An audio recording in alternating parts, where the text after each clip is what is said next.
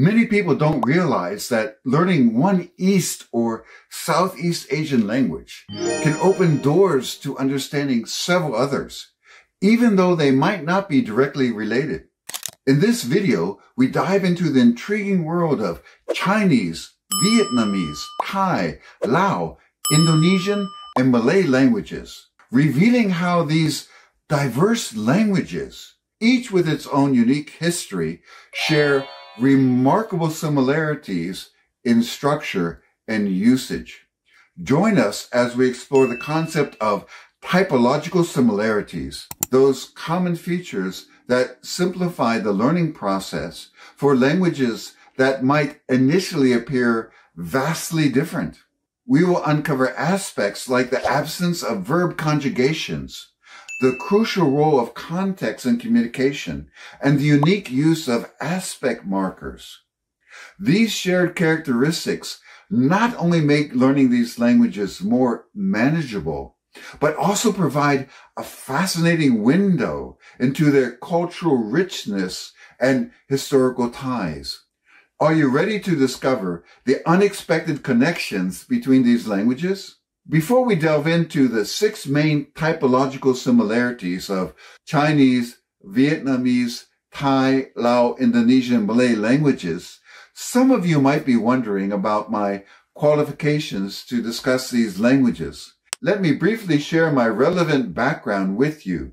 My name is Tim Keeley, a professor of cross-cultural management in Japan for 42 years and the author of the book a Life in 30 Languages. My journey with these languages began in the early 1980s when I studied Chinese literature in graduate school in Japan. When I say Chinese, I refer to Standard Chinese or Putonghua, as I find the term Mandarin a bit outdated because it originally means Guanhua, the language among the officials of the Qing dynasty and Guanhua is not used in China today to refer to the national standard language. My academic career includes teaching at Chulalongkorn University in Thailand over a period of 12 years, three months a year. I also conducted research interviews and wrote a book in Thai about Japanese subsidiaries based in Thailand. The similarity between Thai and Lao made it easier for me to learn Lao during my frequent visits to Laos over the past two decades. As for Vietnamese, my experience includes studying and using both the northern and southern dialects, complemented by over 13,000 kilometers of travel by motorcycle across the country on three occasions. Additionally, my engagement with Indonesian and Malay spans over three decades, enriched by numerous trips to the region, especially to Indonesia. With this history of studying and working with these languages, I'm excited to share insights that I hope will be invaluable if you're considering learning one, two, or even all of these languages. But before we start, here's a bonus. Our exploration extends beyond the six languages. Khmer, or Cambodian, and Burmese also share many of these linguistic features, further illustrating the rich tapestry of language in this vast geographical region. So let's begin our journey into this fascinating world of these languages and their typological connections. There is no tense indicated in the verb. Instead, they utilize contextual clues and aspect markers. Let me explain what context markers are. There are elements in a sentence that give us clues about the timing of the action based on surrounding information. For example, they can use time phrases like yesterday or tomorrow to indicate when an action occurs. For example, I go, or more naturally in English, am going to the store. I went to the store yesterday. Chinese, 我去商店,我昨天去商店. Vietnamese, tôi đi đến cửa hàng. Hôm qua tôi đi đến cửa hàng. Thái, chăm bài rang ca, chăm bài rang ca mưa hoàn ní. Lao, koi bài khan, mưa hoàn koi bài khan. Indonesian, saya pergi ke toko. Kemarin saya pergi ke toko. Malay, saya pergi ke kedai. Semalam saya pergi ke kedai. In these examples, you can easily see the similarities between Thai and Lao, as well as between Indonesian and Malay. I'm actually doing a study to see if Malay people see Malaysian and Indonesian as two different languages or just one language, which I will cover in a future video. So subscribe to not miss out. Now let's look at aspect markers. Aspect markers, on the other hand, focus on the nature of an action rather than when it occurs. They tell us whether an action is completed, ongoing, habitual, or occurring just once. This is different than tense, which is primarily about timing. Aspect markers provide a unique perspective on actions, emphasizing how they unfold over time rather than just pinpointing them on a timeline. For example, in Indonesian and Malay, sudah signifies an action is completed. Belum indicates it is not yet completed. And pernah is used to express having had the experience of doing something. For example, he went to Japan. Dia sudah pergi ke Jepang. He hasn't gone to Japan yet, dia uh, belum pergi ke Jepang. He has been to Japan. Dia uh, pernah pergi ke Jepang. These sentences in Standard Malay are essentially equivalent. So let's examine how similar concepts are expressed in the other Asian languages. He went to Japan. He hasn't gone to Japan yet. He has been to Japan. In Chinese, le, hai mei, guo are used. Ta chu le Riben. Ta hai mei chu Riben. Ta zeng jing chu guo Riben. In Vietnamese, we have da chu da tung. Anh ấy da di Nhật Bản. Anh ấy chưa đi Nhật Anh ấy đã thường. In Thai, we have leo, yang mai, and khơi. Kao bài ipun leo by Ipun, Kaokui by Ipun. Similarly, in Lao we have lao yang bo and kui. very similar. Lao by Nippon lao Lao Nyangbo by Nippon, Lao kui by Nippon. Now, the next big thing we will examine is how these different Asian languages express future actions, desires, and intentions with respect to the idea of going to Japan. Note that they're not always exact equivalents in the various languages. Desires, I want to go to Japan. In Chinese, we can use shang, which can mean think in general. Shang yao, it's more like I want to, I would like. And yao could be want or need to, or will in the future. Well, shang Riben. So these all have slightly different meanings. Yao plus a verb can express to want or to need quite emphatically, a definite intention and a future action. In Vietnamese, we have muốn, đôi muốn đi Nhật Bản. In Thai, we have yak, chan yak by Yipun. In Lao, we also have yak, ko yak by Nyipun. In Indonesian, we have ingin and mau. Saya ingin pergi ke Jepang. In Malay, also ingin mau hendak, shortened to not. Saya mau pergi ke Jepun. Then we have necessity. I have to or need to go to Japan. In this case, we could use yao in Chinese. Wo yao chi Riben. In Vietnamese, we have gan fai. Doi gan fai di Nippon. In Thai, we have dong. Chon dong bai yipun. In Lao, also very similar. Dong Koi dong bai nipun. In Indonesian and Malay, we have harus. Saya harus pergi ke Jepang, Jepun. What about intentions? For example, I intend to go to Japan. In Chinese, we have da suan. 我打算去日本. In Vietnamese, we have 自定,搞一定.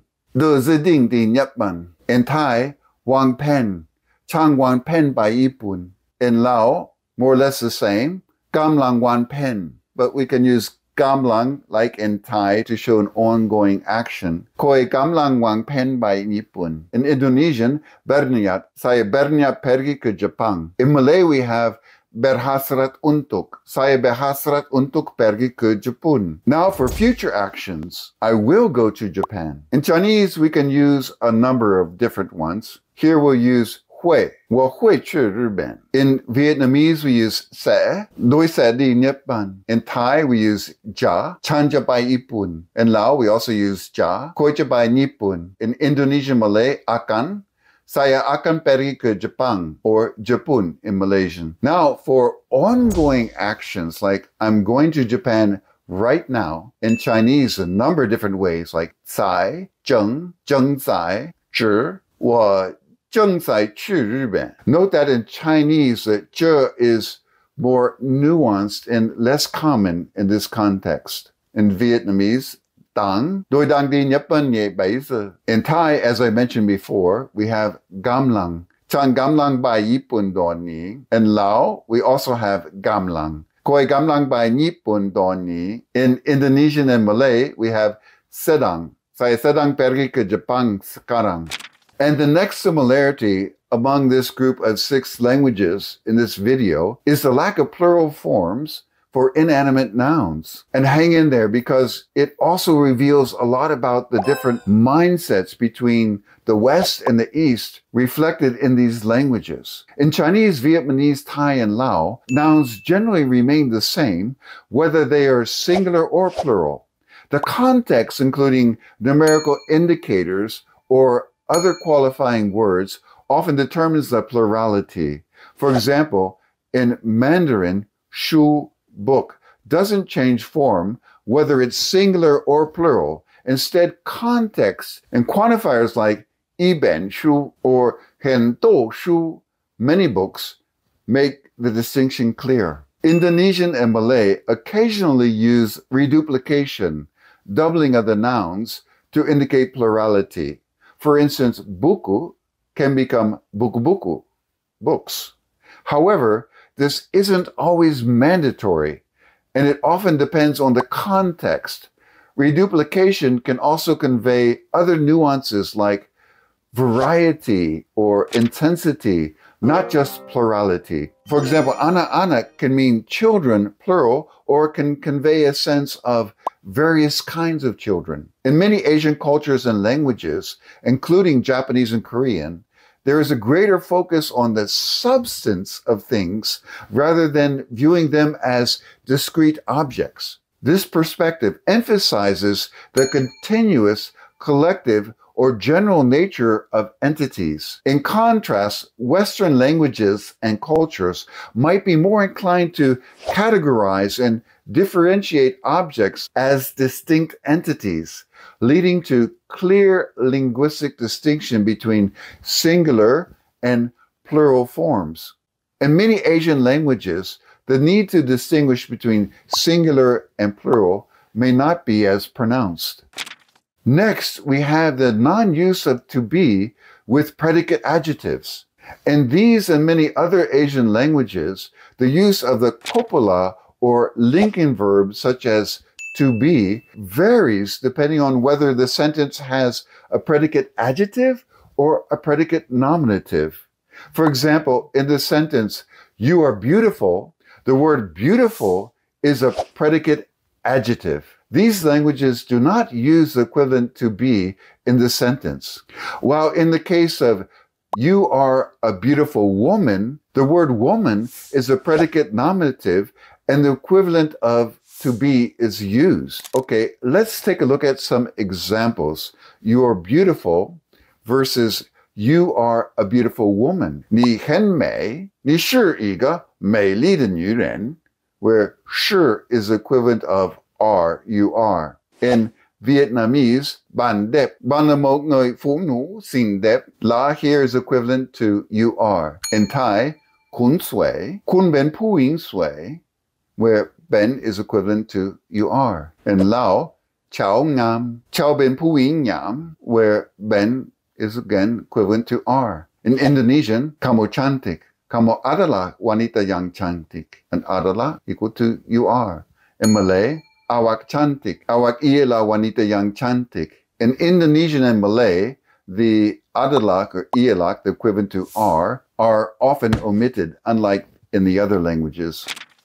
Finally, the lack of definite articles in these Asian languages, the, is a notable grammatical characteristic that shapes how ideas and objects are expressed and understood. It highlights the importance of context in language and reflects the diverse ways in which human languages categorize and communicate about the world. As we come to the end of our exploration of these six fascinating typological similarities among East and Southeast Asian languages, it is clear that understanding these shared linguistic features can significantly enhance our ability to learn and master these languages. Even though languages like Chinese, Vietnamese, Thai, Lao, Indonesian, and Malay might not be directly related, the commonalities they share provide us with invaluable shortcuts for picking up these languages. In addition, we can understand more about how culture is reflected in language. If you find this approach useful, please check out my video for learning the languages of the East Asian cultural sphere, which includes China, Vietnam, Japan, and Korea. And remember, the more you learn, the easier it will get and the stronger your mind becomes. See you in the next video.